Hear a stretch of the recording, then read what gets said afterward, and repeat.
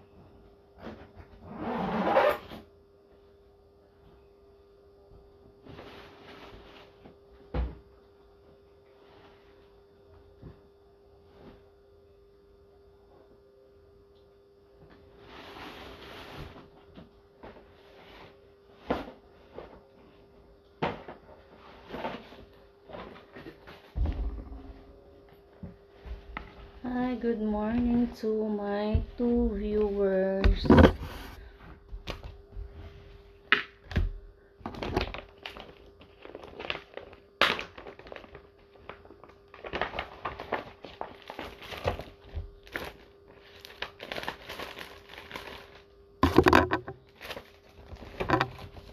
So today is the second day of February and this is the month of love. So kahapon, yesterday we talk about love and money. You know, I tried three times to make my live videos, but it was not done. It was not well, well, well explained. well explained. So, kaya ngayon, Tagaluga na lang good sale, or Bisaya, or Ilongguha, no? Hindi kasi meron tayong mga, we have our um, friends that cannot understand our own dialect, no? Kaya, minsan, nagtatagalog ako, nag-English, Bisaya, no?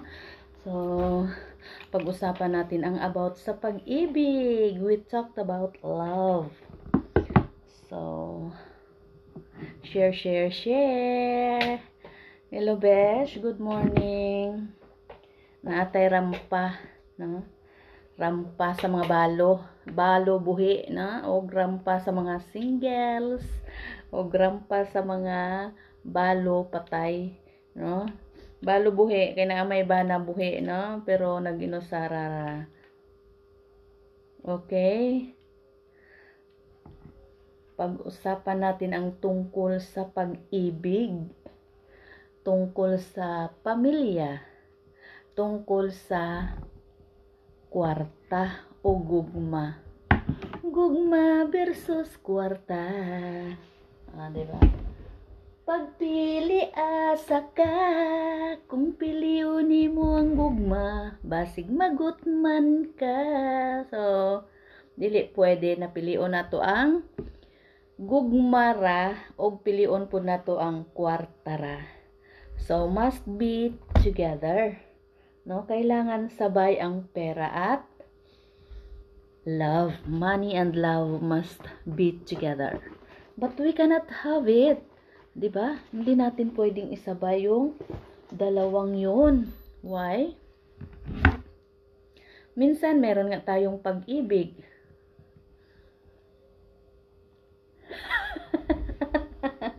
ang laon by Bish.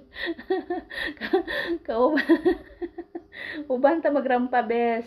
Kaway-kaway diha, bes. Upper tayo. Sumakit ang ulo ko. Sumakit ang dibdib ko. Sex bomb, sex bomb, sex bomb. Oh, di ba? Kaway-kaway dyan, bes. So, mao na ang giingon na unsa man jud ang atong unahon. Okay, we will start first from our um, family.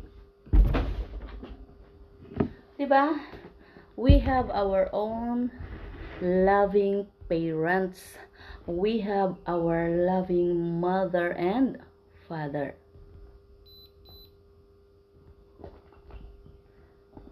Ang atong ginikanan gibugna para sa atoa. We have, they have, I mean their mission to taking care of us, no? Tayo na mga anak, iningatan tayo ng ating mga magulang. They born us, no? Our mother born us. This is not because sa kagustuhan niya. No? Ipinanganak tayo hindi sa kagustuhan ng nanay. Ipinanganak tayo dahil sa kagustuhan ng Diyos Ama yun.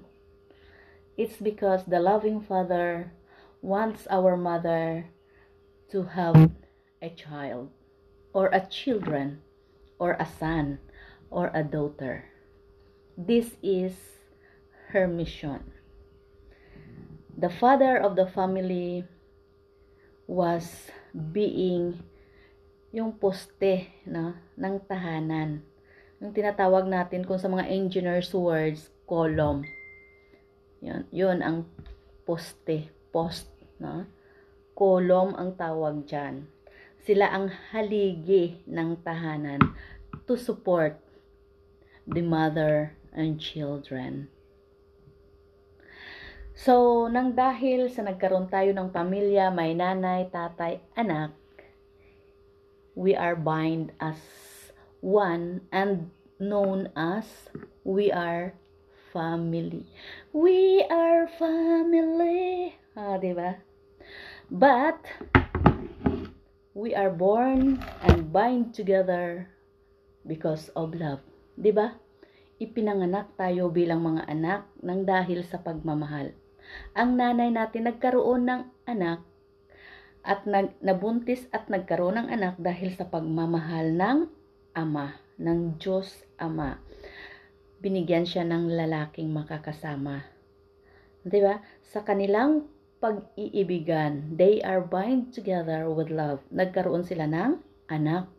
Hindi sila nagkaroon ng anak dahil sa pera. 'Di ba? It's not because of money they have their children, it's not because of money. They have their children, it's because they love each other with the guidance of our loving Father. Pasigahan ako para makita siya kung kagwapa. Okay. Now, why nagproblema tayo sa pera? Ha? Bakit nagkaroon tayo ng problema sa pera?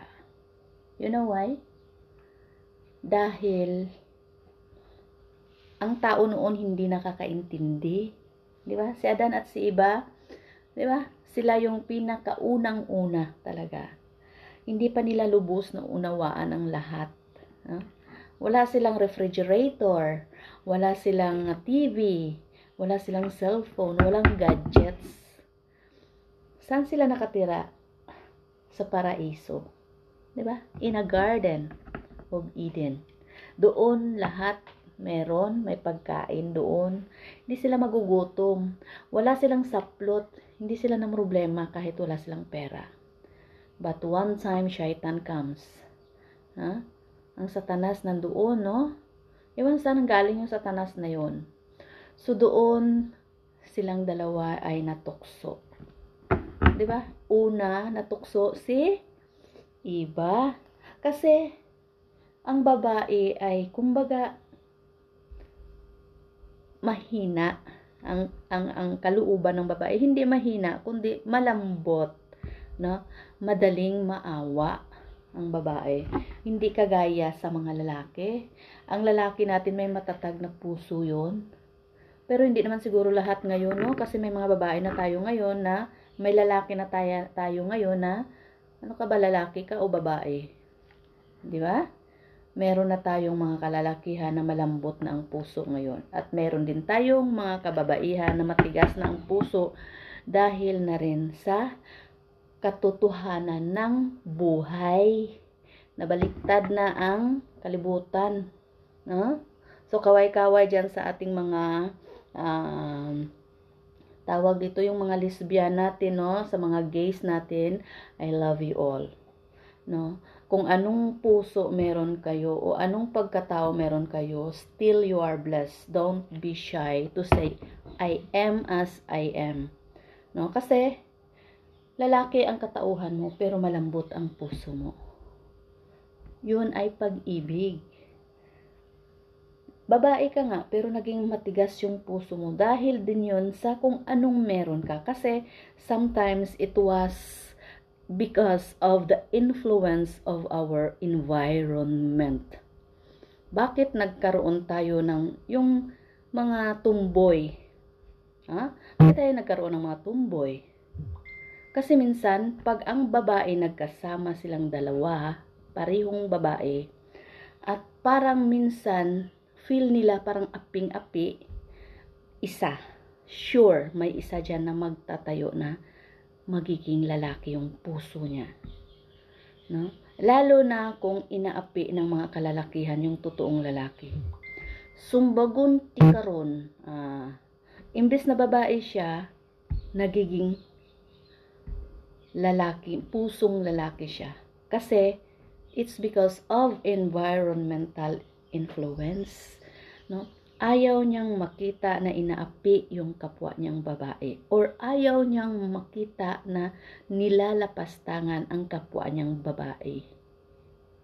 Dito naman tayo sa mga bading natin. Itong mga bading natin, nagkaroon sila ng malambot na puso. It's because also of environmental influences. Minsan, especially sa mga kalalakihan, sa mga badiding natin, 'di ba? Mostly sa mga badiding natin, nagtatrabaho sila, nagmamanicure, nagpipid, 'di ba? Or naa sila sa salon, no? Gawaing babae ang ginagawa nila. Isang rason kung bakit kung hindi ka undergraduate, kung hindi ka graduate, I mean, no? If you are not a graduate, ang babagsakan ng ating mga kalalakihan, construction workers. Hindi natin dapat maliitin yung pagiging construction workers natin. We are building a house that giving a home. 'Di ba? Hindi mo matatawag na na home ang isang bahay kung walang pamilya. So, ang isang pamilya ay naninirahan sa isang bahay. And it was built by our construction workers. Meron tayong mga kalalakihan na mahina yung yung physical, no? Na aspeto, parte ng buhay nila ng ng physical, no? ability. So instead na mag-construction workers, doon sila pupunta sa salon. So, wala kang magawa, kundi magiging bakla ka kasi ang trabaho mo mag-manicure at pedicure. So, that is an environmental influences that we cannot avoid. We have to accept the reality and respect its principles so that we can have a good and happy family in our community. Yun ang mga bagay na dapat nating tingnan. Ngayon, mula sa ating pamilya, nagkaroon tayo ng mga anak. Good morning, Ban. Good morning to all my viewers. The time that we have our own growing, no? Dito na tayo sa mga anak. Iwanan na natin yung nanay at tatay. When we grow up, sasabihin natin, gusto ko nang magkaroon ng sarili kong pamilya. 'Di ba? magkaroon ng sariling pamilya. Ngayon, hindi ka pa nasa tamang edad, anak. Ang sabi ni inay. But a mother go out from the house. No? Example ko na lang yung sarili ko. Nagkaroon ng apat na anak. Yung apat na anak maliliit pa. I need to build a house.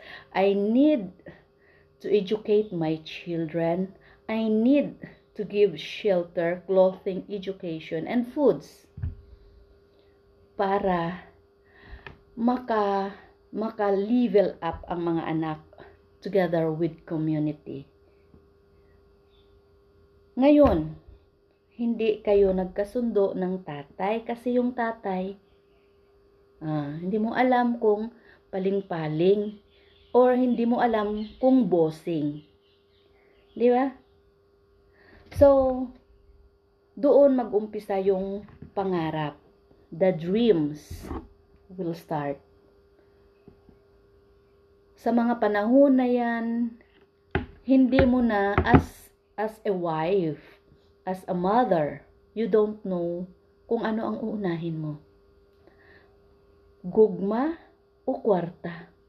I have my man. I have my husband. I love.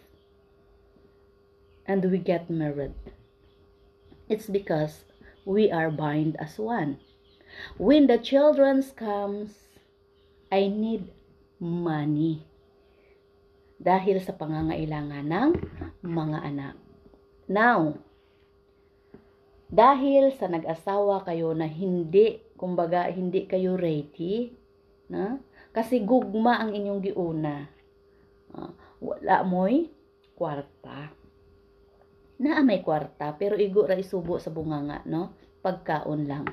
Karon, mga lagpot na na ang inyong gugma. Mulupad na na siya sa bintana. Dong, pangita kwarta dito dong, kay naay project si Inday. Dong, pagpalit dito bugas dong, kay wala jud tay makaon. Dong, si Dodong asa Si Dudong wala pa nahuman sa iyang pagkaulitaw. No? Even he got married, still not feels, he did not feels like he is so married. He still go with friends. We will go basketball. We will go drinking. We will go anywhere. Ang asawa, the wife, stay at home. Mga lagpot ng gugma Na? Punyamis di kolores ka. Unsang oras na kani uli, kauban ni mong barkada, nag-inom ra ka, bla bla bla bla bla bla bla. Excuse me. Taas na ang orasyon ni Mrs. Pag-abot sa panahon, ingon sa bana. Pa! Oh, dire, naigo si Mrs. dire, ning lagomang mata or sumbag diri or gisumbag sa kuto-kuto natulugan ni hilom ang baba. It's because the husband got angry for what a wife told to him. There is no love anymore. Now, we can say, okay, nawawala tayo, no? Now, okay, sasabihin natin, doon na tayo sa mga anak. Ang mga anak, nilayas na ang inahan. Nangita og panginabuhian for the children because the mother is always close to the children. So the mother cannot dare to see that the children has no education, has no foods, has no clothing. So the mother will go out from the house. My dear child, or my dear children, stay with your father. Stay at home. I will go out. Which is, it is not the right. Hindi yon ang tama na ang nanay ang lalabas sa pamamahay. Believe me, 99.9% if a mother will go out in the house, believe me, 99.9% it will be broken family. Di ba? Magiging broken family yung kalalabasan noon pag lumabas na ang nanay sa bahay. Kasi, pag ang lalaki lumabas ng bahay at makahanap ng chicks sa labas, fine, they are men. Men are always men. Pero pag ang babae nakahanap ng lalaki sa labas, lalo na kung ikaw ay may asawa na, hindi ka na buo tingnan as you are. Kumbaga, sagrado. As you are sacred wife, it will not be. I am sure. Kasi, naghanap buhay ka sa labas. You need love. Sino ba ang babae na hindi maghahanap ng pagmamahal kung malayo na siya sa piling ng kanyang pamilya?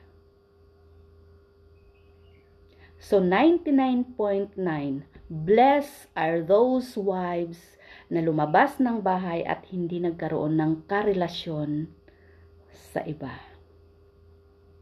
But I believe 99.9% I am sure. So yun ang magkakaroon na ng lamat. Doon natin masasabi na gugma versus kwarta. Ang karoon na ng lamat, ano na ang pipiliin ko nito? Hihiwalayan ko yung tatay nila dahil may nahanap ako dito na pwedeng makasuporta sa mga anak ko. May nahanap ako dito na nagbibigay ng pagmamahal sa akin, pag-iingat, lambing. Dito ko sa kanya natagpuan ang pagiging asawa. Pero paano? Kasi may anak kaming apat. He is still the father of my four children. Paano ang buhay ko? Paano ang buhay ko ngayong wala ka? Ako'y magtitiis alang-alang sa'yo. Basta't makita kong maligaya ka lang, hindi ako magdaramdam. Sige, malaya ka na. O, di ba?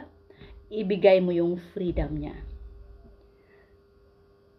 Ibigay ang freedom ng bawat isa to preserve the love. Di ba? Kasi lumabas na ako ng bahay, naghanap ako ng hanap buhay kasama yung natagpuan kong magmahal sa akin. Naiwan ang anak, naiwan ang tatay. Si tatay, lumabas na rin ng bahay, iniwan ang mga anak.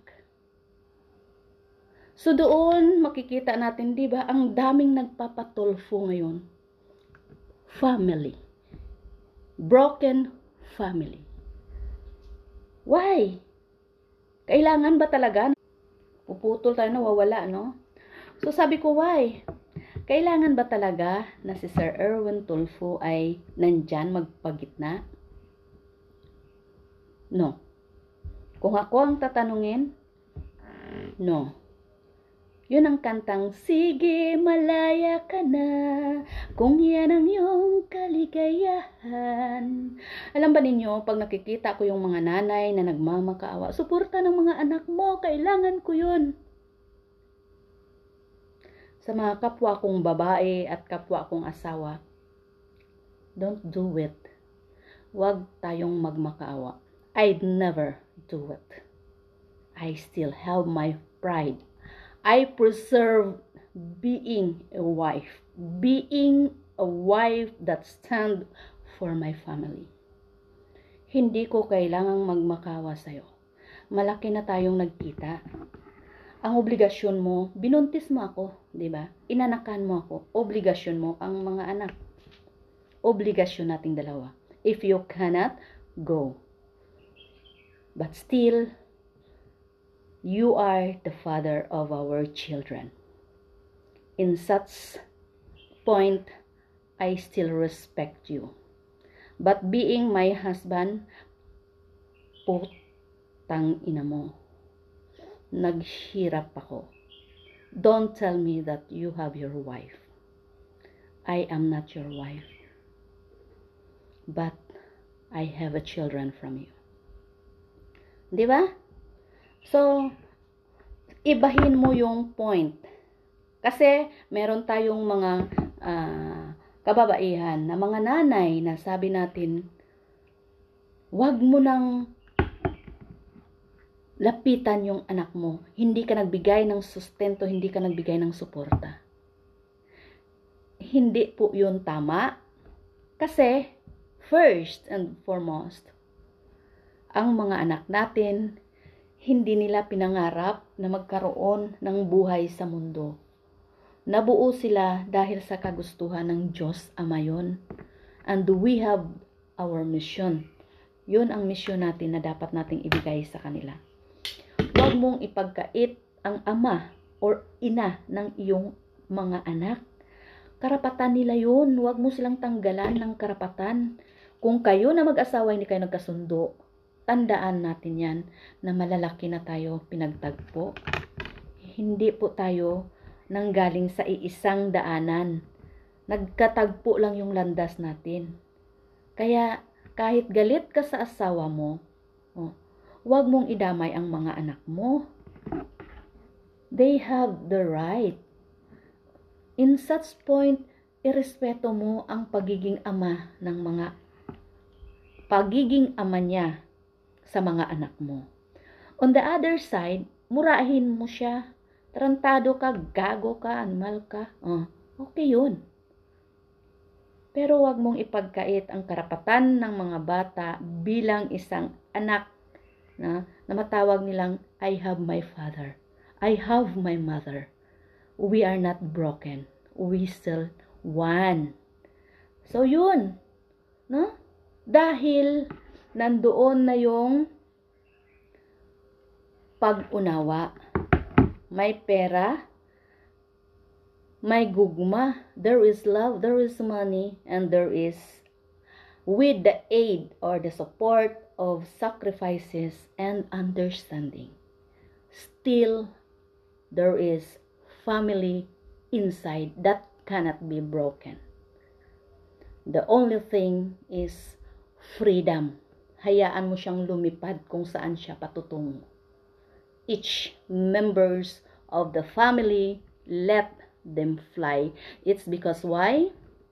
Hindi natin pwedeng idugtong ang kaligayahan natin sa kaligayahan ng ating mga anak, sa kaligayahan ng ating asawang hiniwalayan. 'Di ba?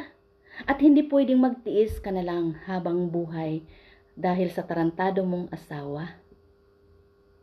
You have to go your own way and enjoy your life but preserve the main family. Hayaan mo siya kung saan siya pupunta. Hayaan mo kung anong gusto niya sa buhay.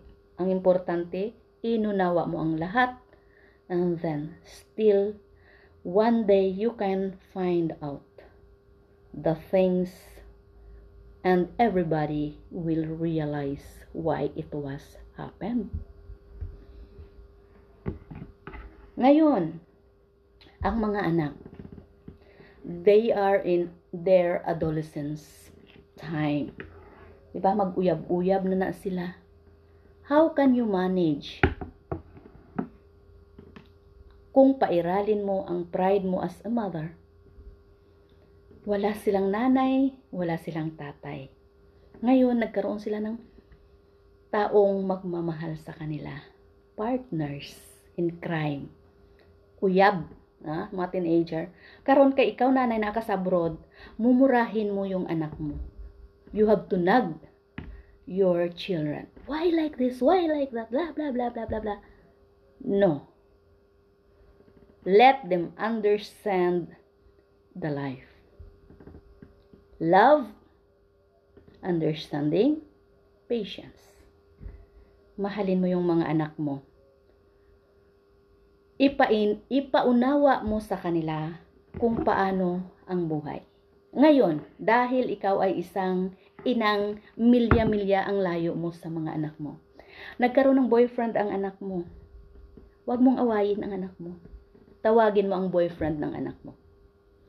Samahan mo ang anak ko saan man kayo mapunta. You are now in the stage of adolescence that you understand everything. Kung mag-asawa kayo ng maaga, nakikita na ninyo yung punong pinagmulan. Kung magsakripisyo kayo and you can build the life, the beautiful life.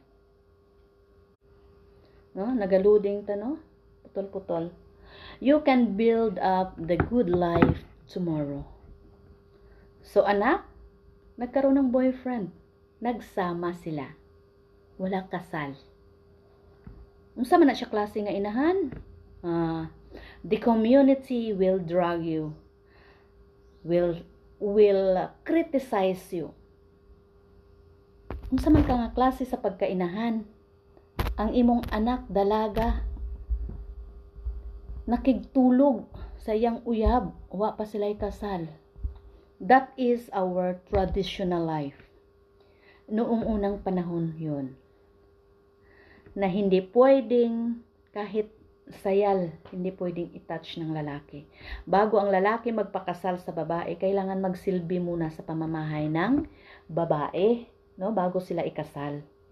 Kailangang alamin niya ang buhay ng babae kung ano at ang pamilya nito.